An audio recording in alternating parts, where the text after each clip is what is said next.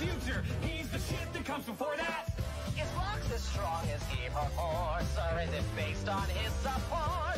He'd be powerless without the other bees. Oh, please. And here's the sugar on the cream. He asked me to join his team. I said no, and now he's busy. That's the team. You old tiny prick. I'll show you suffering.